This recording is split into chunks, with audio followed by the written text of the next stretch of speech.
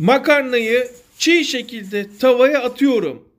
Haşlamıyorum. Hatta bu makarnayı süzmeyeceğiz bile. Haşlamadan, süzmeden kendi sosunda pişen tereyağlı, zeytinyağlı harbi makarna tarifi.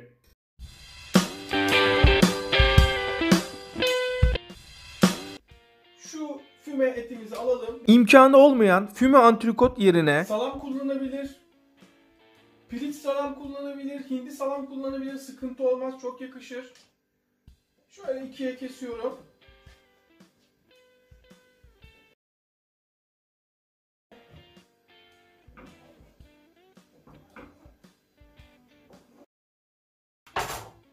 Şu şekil parçalar elde ettim. Hemen maydanozlarımız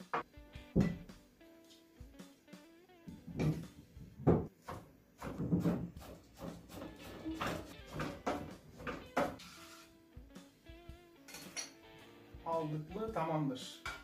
İpince oldular. Çok güzel. Ama dışa gelecek şekildeler. Ben wok tava kullanacağım. Ama normal tava da kullanabilirsiniz. Normal tencere de kullanabilirsiniz. Sıkıntı olmaz. Önemli olan makarnalarınızın şu şekil içine girmesi. Girmiyorsa da kırarak yapabilirsiniz. Biraz daha yaklaşalım. Şöyle bir yaklaşın. Bakın daha ocağımın altını yakmadım. Şöyle 2 yemek kaşığı kadar zeytinyağı. Bakın ayçiçek yağı değil zeytinyağı. Bir çay kaşığı kadar sarımsak tozu. Sarımsak tozu olmayan elinde bir tane orta boy sarımsağı ezip kullanabilir. Sıkıntı olmaz. Şöyle bir karıştıralım. İyice bir yedirelim. Zeytinyağımıza. Bakın daha altını yakmadık. Dikkat edin. Hala altını yakmadık. Burada füme etimiz. Bu da göz hakkı. Şimdi altını yakabiliriz. Şu an sadece ateşi gösteriyoruz. Hafif böyle kavrulmasını istiyorum.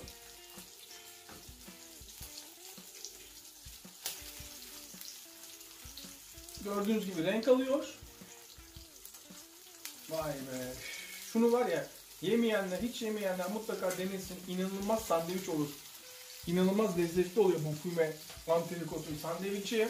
Domateslerimiz. Bir orta boy domates. Şu sesi duydunuz mu? Doğru yoldasınız. Her zaman söylüyorum. Hep orta ateşteyiz şu ana kadar. Müthiş. Yarım çay kaşığı kadar tuz. Daha da atacağız ama şimdilik bu kadar.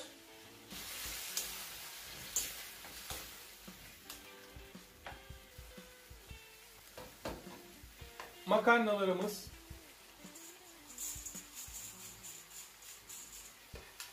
Tereyağımız bir tatlı kaşığı kadar. Bir çay kaşığı kadar kırmızı acı olmayan toz biber. Acısız yalnız isteyen acı da kullanabilir. Yarım çay kaşığı kadar tuz, karabiber. Taze çekilmiş kullanıyorum. İsteyen normal de kullanabilir toz şeklinde. Bir çay kaşığı kadar 200 mililitre kaynamış su. Evet. Böyle 50 mililitre kadar süt, bir çay bardağının yarısı kadar. Kapağını kapatın. Orta ateşte 10 dakika kadar pişsin. Aralarda karıştıracağız. Kaynadıktan sonra 8 ile 10 dakika arası. Köle değiliz. Rahatınıza bakın.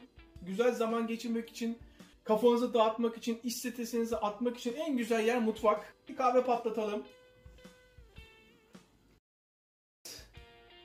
Mutfakta istenmeyen kazalar olabiliyor. Bakın farkında olmadan elimi kesmişim. Büyük bıçak kullanmanın sıkıntıları. Her dakika elimin altında bıçak var ama görebiliyorsunuz değil mi? Kesik oluyor.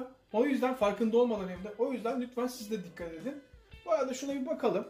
Durum nasıl? Kahvemizi içmeden önce. Şöyle bir karıştıralım. Süzme müzme yapmayacağız. O yüzden suyunu çekmesini de istiyorum. Şimdi kapağını kapatalım. Bu pişmeye devam etsin. Ben kahvemi yudumlayayım. 10 dakika geçti. Hatta 12 dakika falan oldu. Normalde 8-10 dakika biliyorsunuz yapıyoruz makarnamızı ama bunun içinde büyük parçalarda domatesimiz olduğu için ve etimiz olduğu için 12 dakika yapmak uygun. Ben size söyleyeyim. Toplam 12 dakika düşünün yapacak olanlar kaynadıktan sonra. Durum bu. Şimdi şunun bir tadına bakalım. Ama bizim kanalın kuralı ne? Artık bizi izleyenler biliyor. Ne yersek yiyelim en güzel şekilde bakacağız. Hatta tabağımızı beraber hazırlayalım. Bir bakalım nasıl yapacağız. Makarnamızı şöyle açalım.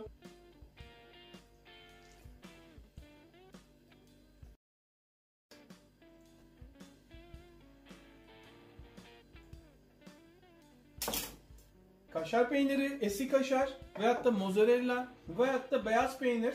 Ben biraz beyaz peynir kullanacağım. Çok az eski kaşar. Hani ikisini birden kullanıyorum. Müthiş. Ve maydanozlarımız alın size en lüks lokantadaki makarnalardan bir tanesi ve kendi evinizde öğrenciler bile yapabilir. Tamam kabul ediyorum. Füme et kullanmayın. Ama hindi salam kullanın. 2 liraya bile satılıyor hindi salam. Beyaz karabiber çok yakışır. İnanılmaz yakışır. İnanılmaz. Şimdi sıra geldi bunun tadına bakmaya. Bunu hak ettik. Reklama girecek ama şu olmadan olmaz. Gerçi benim reklamama ihtiyacı var. Zaten bu sesi duydunuz mu ne olduğunu tahmin ediyorsunuz. Şunun bir tadına bakalım arkadaşlar. Bunu hak ettik. Şu görüntüye bakar mısınız ya? Of keşke imkan olsa da size de ikram edebilsem. Müthiş bir makarna bu. Haberiniz olsun. Daha önce yapmamış olanlar, tarifi bilmeyenler mutlaka denesin. Of ufak bir itiraf. Biraz tuzu eksik. O yüzden tuzlayalım. Müthiş. Çok güzel olmuş. İşte olay bu. Olay bu. Açın ağzınızı. Evet. Evet. Vay be. Vay be.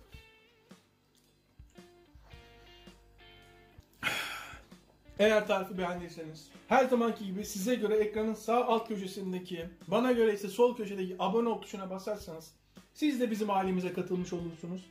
Ve tariflerimizi hep beraber yaparız. Ufacık da olsa bir yorum yapmayı ve beğen tuşuna basmayı unutmayın. Ki biz de üst sıralarda yer alalım. Umarım birileri bu tarifi yapar ve memnun kalır. Herkese tekrardan selamlar.